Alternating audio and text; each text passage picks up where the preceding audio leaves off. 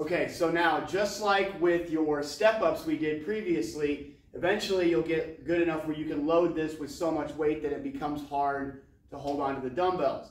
We find that switching to a barbell helps with this, helps you continue to increase your load without having to worry about your grip. So I'm gonna grab this bar.